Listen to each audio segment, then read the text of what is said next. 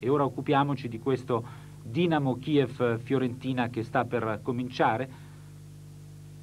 Prende posto anche Iachini con eh, Dertisia sul pallone. Ed ecco, impassibile con eh, il colbacco, Valeri Lobanowski che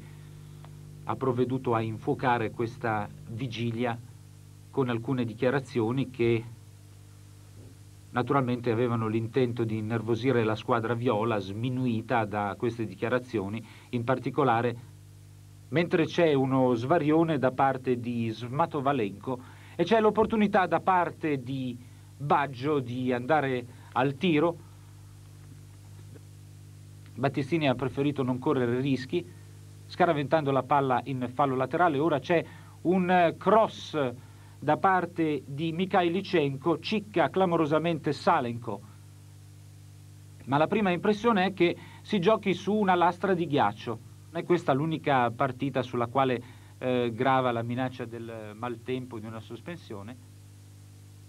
Una traiettoria poi corretta di testa da parte di Dertissi ed è forse l'azione più pericolosa che abbiamo visto finora. È un campo ghiacciato, la temperatura è a meno, scusate, nella partita di andata. Intanto osserviamo questo attacco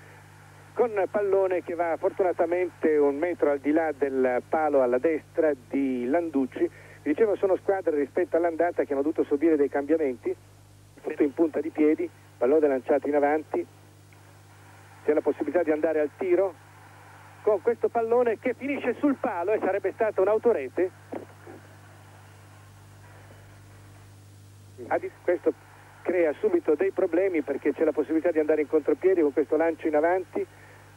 l'intervento subito da parte di Landucci c'è la necessità di effettuare il rinvio viene effettuato poi in questo istante parabola molto alta poi il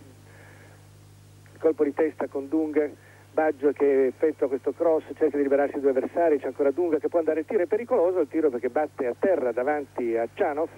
tiro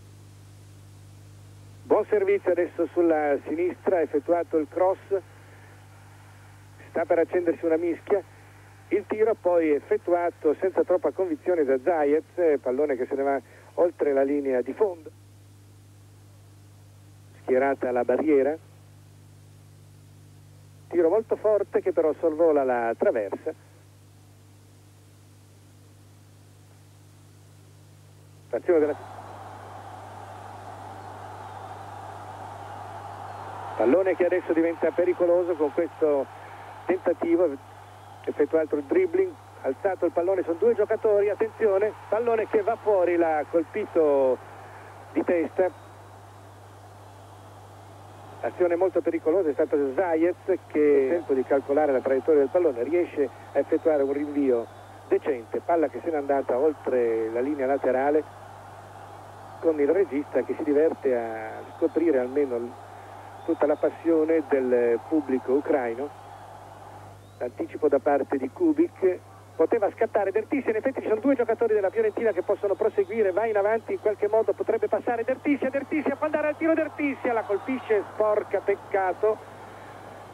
ha colpito sprecando un'ottima occasione, Dertissi ha colpito male il pallone, questa è stata la... L'arbitro Warren la intende evidentemente recuperare, ancora la Dinamo in avanti molto pericolosamente adesso Litovchenko che può effettuare il cross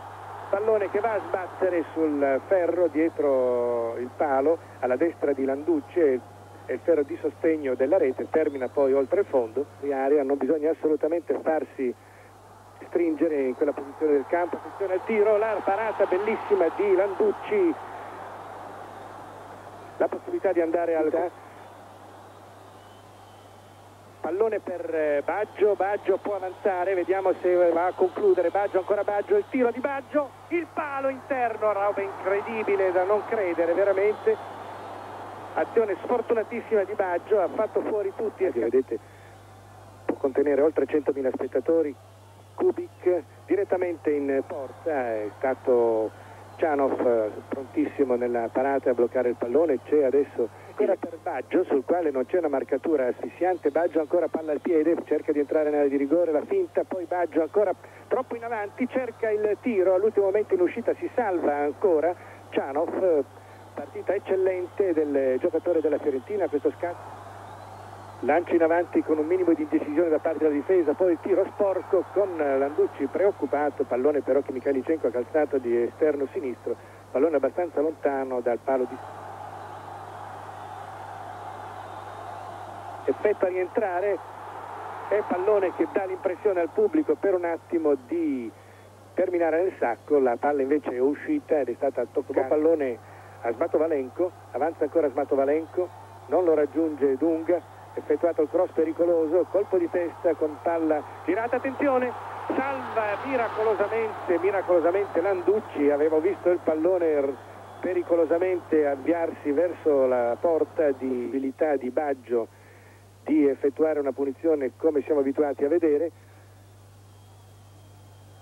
Il tiro di Baggio e la parata plastica di Cianov che ha avuto tutto il tempo di controllare la traiettoria del pallone e arrivarci. Il giocatore Smatovalenko dal fisico possente si continua a giocare, adesso il pallone viene giocato da Biessonov e l'arbitro fischia alla fine, perfetto. Direi che ha impostato tatticamente in maniera egregia la partita Giorgi, ha chiesto il sacrificio ad alcuni dei suoi di giocare in copertura, ha lasciato Baggio davanti che gli ha dato ragione, lo voleva fresco ed è riuscito anche ad arrivare quasi al gol Baggio all'80.